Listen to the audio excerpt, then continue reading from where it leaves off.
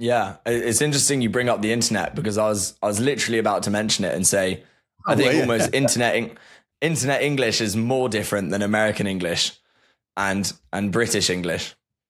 I'd say at least. Well, the, the one thing I've learned about all my studies of the internet is uh, uh, that it's so difficult to generalize uh, about it because it changes so fast. I mean, mm-hmm. it's extraordinary, really. And and now there has to be a disclaimer from me. Um, I haven't really studied the uh, language of the internet in the past you know, six or seven years, really. And as a result, I have no idea what's going on out there at the moment. I mean, I have never ticked or talked, uh, for instance. Um, I, I, just don't know what's going on out there. This is your generation, not it. mine. Stay off it if you can. yeah. It's a very insidious platform. It's made to addict you. Yeah. right. But when I was doing it, um, the, the, thing that struck me was how difficult it was to keep pace with the, the rate of change. Uh, um, the example that comes to mind always for me is, is Twitter.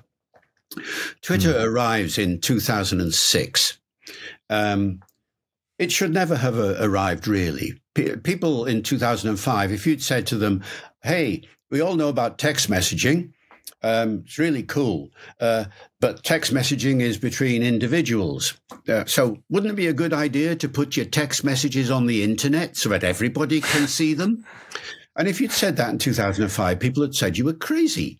But that's what Twitter was. Twitter was SMS for the internet, a short messaging service for the internet. So instead of me saying to you, I'm eating cornflakes, I tell the world that I'm eating cornflakes. And the world wants to know. And, and this is this is what made Twitter so successful. Now, at the beginning, you were given a prompt, and the prompt was, "What are you doing?"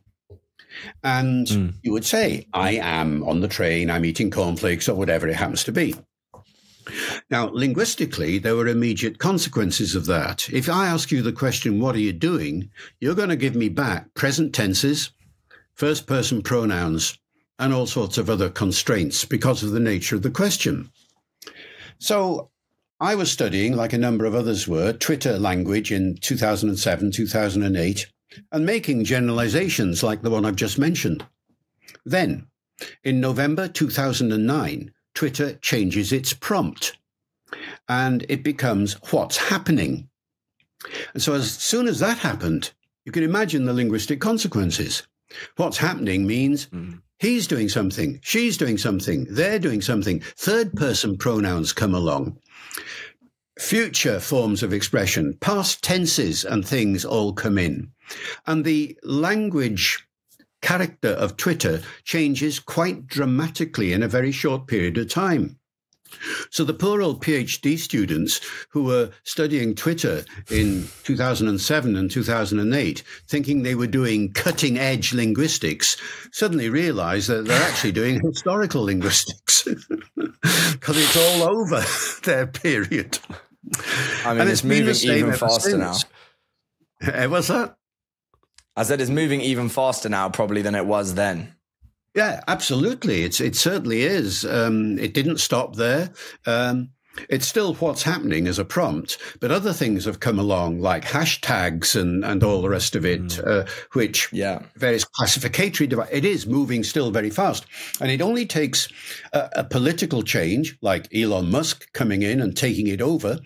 And suddenly different criteria are used. Uh, maybe the length of the, of the entry varies. You're now able to produce longer sentences than you were before it's all it happens so quickly. You're right. Yeah, it's it's interesting. I think there's so much more to it than just the change in vocab and syntax. Because I was having the conversation with, I was having a conversation about deleting TikTok with my sister the other day. Like I said, I think it's like an insidious platform. You end up scrolling on it all day. And her reason actually for not wanting to delete it was really interesting. Is that there's a whole set of cultural references which you end up missing out on of the popular meme of the day or, or whatever video is going viral, and that quotation of that is quite common in everyday humor, at least among young people. And mm. so you'd be missing out. You know, it, it's almost like an identity. It's kind of like a a, a metaphorical country or a metaphorical geographical location where people go and you share that culture. And if you're outside of that, then you're missing out in the same way that language, for example, uh, in England, or it has specific words or cultural references. You're, you're, you're really missing out on like a yeah. on that aspect as well. Yes, you, you are. And we're now in the field of pragmatics, I, I guess, really, rather than anything else. Uh, uh, uh, pragmatics is, you know, the study of the choices you make when you use language, the reasons for those choices and the effects that the choices convey.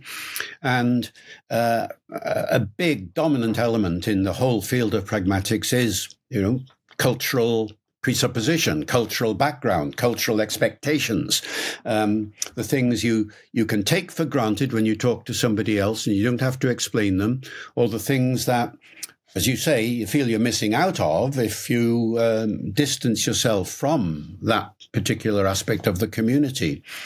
Um, yeah, this is very important, and not just in English, of course, but you know, back to code switching and everything now. Um, the uh, the different online communities have their rules is probably too strong a word. Certainly have their conventions.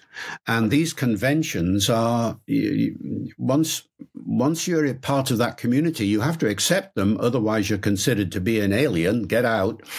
Um, or you find yourself not being able to understand what's going on in the group because you lack the the correspondences that you were just referring to. I mean this has always been the case. Mm. i remember back in the 1980s, uh, when chat groups were first being developed.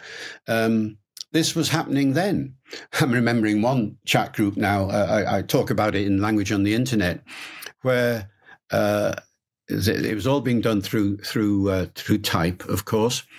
And at one point in this particular group, somebody mistyped the word computer, and it came out as comp tour. And everybody thought this was wonderful. And then and everybody started to use it. And before you knew where you were, CompTour was the standard way of spelling computer for that particular chat group. Along comes a newbie into that chat group and spells computer in the standard English way. He's condemned by the rest of the group for not spelling computer properly.